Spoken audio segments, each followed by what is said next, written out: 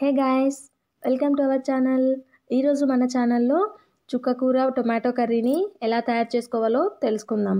ఈ చుక్కకూర tomato curry అనేది ఎలాంటి బిర్యానీ రెసిపీస్లోకైనా చాలా టేస్టీగా ఉంటుంది. ఎంతో సింపుల్గా మనం తక్కువ ఇంగ్రీడియంట్స్తోనే చాలా టేస్టీగా ప్రిపేర్ చేసుకోవచ్చు ఈ చుక్కకూర రెసిపీని. ఈజీగా ఎలా చేసుకోవాలో ఇప్పుడు నేను మీకు చూపించేస్తాను మరెందుకు ఆలస్యం? వెంటనే ఇది ఎలా చేసుకోవాలో తెలుసుకుందాం.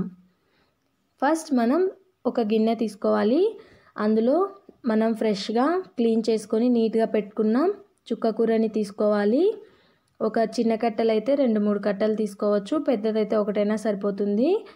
చుక్కకూరని యాడ్ చేసుకొని ఇందులో ఐదారు పెద్ద పచ్చిమిర్చిని యాడ్ చేసుకోవాలి.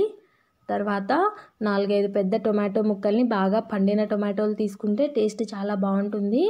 నాలుగైదు టొమాటో ముక్కల్ని యాడ్ చేసుకొని ఒక టీ స్పూన్ పసుపు యాడ్ చేసుకోవాలి.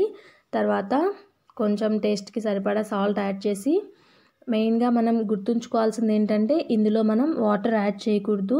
వాటర్ యాడ్ చేయకుంటే మంచి టేస్ట్ ఉంటుంది. వాటర్ యాడ్ చేస్తే అంత టేస్ట్ ఉండదు. వాటర్ యాడ్ చేయాల్సిన అవసరం లేదు.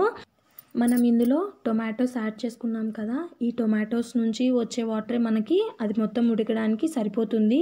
మనం ఫ్లేమ్ని మీడియంలో పెట్టకూడదు. మనం ఫ్లేమ్ని సిమ్లో పెట్టుకొని మూత పెట్టుకొని బాగా ఉడికించుకోవాలి. ఆ వాటర్తోనే అది చాలా మెత్తగా ఉడికిపోతుంది. ఒక టెన్ టు ఫిఫ్టీన్ మినిట్స్ వరకు మనం కలుపుకుంటూ అప్పుడు మధ్యలో అప్పుడప్పుడు అలా కలుపుకుంటూ సిమ్లో పెట్టుకొని ఉడికించుకోవాలి. ఇప్పుడు చూసారు కదా ఎంత మెత్తగా ఉడికిపోయిందో. ఇలా మెత్తగా ఉడికిపోయిన తర్వాత అక్కడక్కడ ఉన్న పచ్చిమిర్చి అలాంటివి అలానే ఉన్నాయి కదా వీటిని పప్పు గుత్తితో బాగా అలా మిక్స్ చేసుకోవాలి.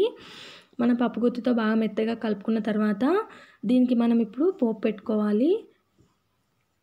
ఇప్పుడు ఒక ప్యాన్ పెట్టుకొని అందులో ఆయిల్ హీట్ చేసుకున్న తర్వాత పోపు దినుసులు యాడ్ చేసుకొని వెల్లుల్లి రెబ్బలు రెండు మూడు ఎండుమిర్చి కాస్త కరివేపాకు వేసి బాగా కలుపుకోవాలి. బాగా ఫ్రై అయిన తర్వాత ఇందులో మనం ఆ చుక్క కూరని వేసి బాగా కలుపుకోవాలి. అంతే. ఎంతో సింపుల్గా ఈజీగా అయిపోయే చుక్కకూర టొమాటో కర్రీ రెడీ అయిపోతుంది. ఒక్కసారి ఎప్పుడైనా బిర్యానీస్ కానీ కలర్ రైస్ కానీ చేసుకున్నప్పుడు ఇలా చుక్కకూర చేసి చూడండి చాలా బాగుంటుంది. అలాగే మీరు ఈ చుక్కకూర కర్రీని ఇంట్లో ట్రై చేసి ఎలా వచ్చిందో కామెంట్ సెక్షన్లో తెలియచేయండి. ఇలాంటి మరిన్ని రెసిపీస్ మీకు ఏమైనా కావాలనుకుంటే కామెంట్ సెక్షన్లో తెలియచేయండి. నేను మీకు చాలా తొందరగా ట్రై చేసి పోస్ట్ చేస్తాను. నా వీడియో మీకు నచ్చినట్లయితే లైక్ చేయండి షేర్ చేయండి సబ్స్క్రైబ్ చేసుకోండి. అలాగే పక్కనున్న బెల్ ఐకాన్ని యాక్టివేట్ చేసుకోండి. Thank you.